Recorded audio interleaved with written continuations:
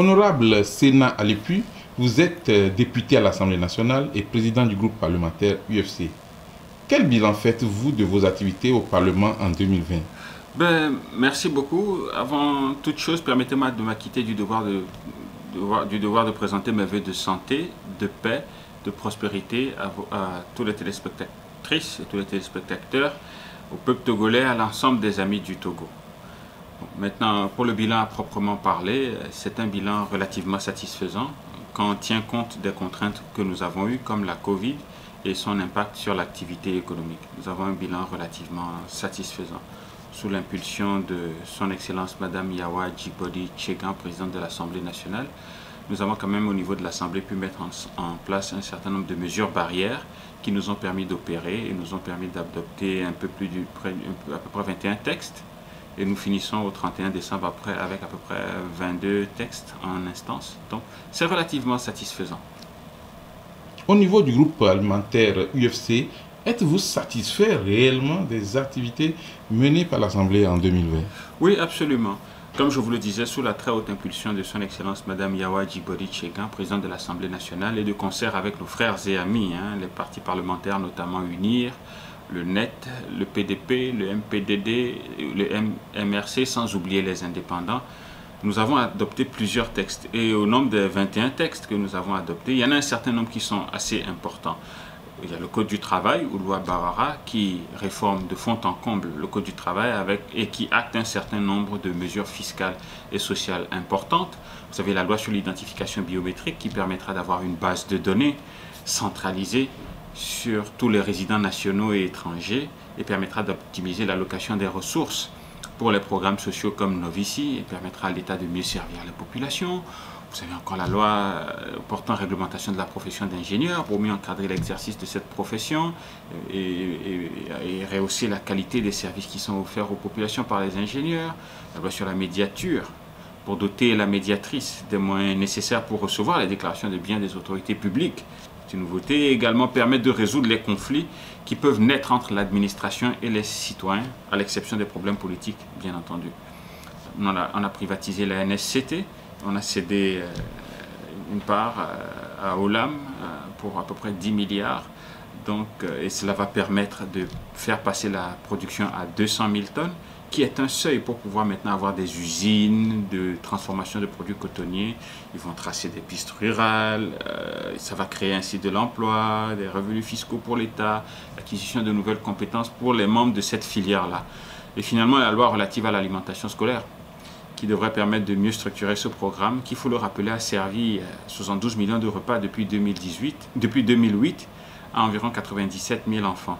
Avec ce que nous avons fait cette année, on devrait pouvoir servir plus que 150 000 enfants. Donc en gros, si je devais nous donner une note sur 10, je nous donnerais 7 sur 10. Mais en tant que groupe parlementaire euh, de l'opposition, y a-t-il eu des innovations à votre niveau au Parlement? Oui, euh, euh, nous avons amendé plusieurs textes. Nous avons un texte qui est dans les canaux sur le prix juste et équitable permettre euh, de faciliter le commerce. Chose que nous, nous avons apporté. Mais bon, ça fait partie des 22, 22 textes qui sont en instance. On va voir par priorité, importance et urgence euh, quand est-ce que ça va passer. Avez-vous eu à faire euh, concrètement des propositions de loi ou à agir sur des propositions? Absolument, c'est ce que je vous disais tout à l'heure que nous avons fait plusieurs amendements à la plupart des textes qui viennent. Et je vous parlais d'une proposition de loi sur le prix juste et équitable proposée par le dynamique député Aoumé Zounou du Grand Lomé. Donc ça attend d'être affecté à une commission pour étude et puis ça va passer. La population togolaise a constaté plusieurs actions des députés de l'UFC sur le terrain. Quel bref bilan pouvez-vous faire de ces activités spécifiques des députés de l'UFC, surtout au cours d'une année marquée par euh, Covid-19 notre, groupe parlementaire a, beaucoup travaillé cette année, mais comme on dit, le bien fait du bruit, le bien ne fait pas de bruit, le bruit ne fait pas de bien. En jetant un regard rétrospectif, c'est plus de 20 millions que nous avons dépensés en activités de terrain, en activités de soutien à la Covid. Ça va de kits alimentaires, on en a distribué plus que 1500 dans le Grand Lomé. Ça, c'est l'honorable Aomé Zounou et Leonardina de Souza. Des kits de lavage de mains dans presque toutes les circonscriptions. Euh, On, est, fait un travail de proximité. L'honorable Pomegwe a électrifié de nombreux villages dans le Vaud. Donc nous soutenons euh, l'effort que les populations font et que le gouvernement fait pour essayer d'arranger le pays. Et ça, ça suit son cours, tout à fait naturellement. Alors, votre parti, l'Union des forces de changement, se prépare-t-il pour un congrès très prochainement Ou qu'en est-il réellement? Ben, C'est une question qui relève plus d'un débat interne au parti. Hein. Tout ce que je peux vous dire, c'est que sous la très haute impulsion de son Excellence le Dr Akil Sylvanus Olympio, président de l'UFC chef de file de l'opposition, nous travaillons à trouver la meilleure formule pour renouveler le bureau qui doit l'entourer comme président. Et le débat et le travail de terrain suivent leur cours, mais c'est lui et lui seul qui décidera de quand et dans quelles conditions nous renouvellerons le bureau. Donc, comme tout organe, il faut renouveler. Mais il faut le faire dans les règles, en respectant nos statuts. Et donc, nous, faisons ces choses-là tranquillement. C'est des débats internes, rien, rien à signaler.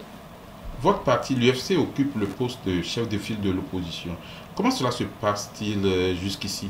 Cela se passe relativement bien. Nous sommes en train d'institutionnaliser le, le CFO et j'ai bon espoir que cette année, les démarches effectuées depuis plus de deux ans avec l'accompagnement du gouvernement, que je remercie ici, porteront leurs fruits souffrez que je ne m'étende pas trop sur, le, sur la question.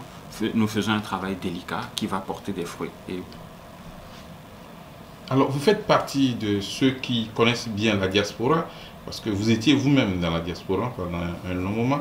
Quel est votre message aujourd'hui à vos frères et sœurs de la diaspora? Ben, C'est des salutations fraternelles tout d'abord. J'ai passé effectivement près de 20 ans dans la diaspora. J'invite la diaspora à continuer d'investir massivement au pays. Vous savez, la diaspora togolaise, c'est 300 à 400 milliards d'investis dans le pays. Et le gouvernement essaie de structurer également la diaspora avec des initiatives comme le Haut Conseil des Togolais de l'extérieur qui a organisé des activités.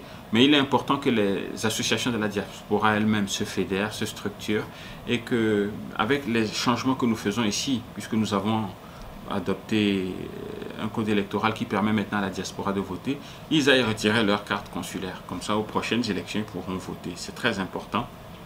Et qu'ils participent un peu plus à la vie du Togo, que ce soit par des investissements ou bien que ce soit par des idées constructives ou des choses qui peuvent aider le Togo. Il y a beaucoup à faire ici. Donc si vous voulez rentrer, c'est un bon moment pour rentrer. Il faut envisager de rentrer en Afrique. Il y a beaucoup à faire ici et l'avenir, c'est ici en Afrique. Donc c'est un appel également pour ceux qui ont une bonne assise financière de se risquer à, rentrer en Afrique. Il y a de bonnes opportunités. Monsieur le Président du groupe parlementaire UFC, euh, quel est votre message à l'endroit de la population togolaise et mot de fin de cet entretien? C'est un message d'espoir que je souhaite adresser aux populations. Le Togo change. Nous devons changer de mentalité et de comportement pour préparer l'avenir des générations à venir. Nous devons résolument nous mettre au travail.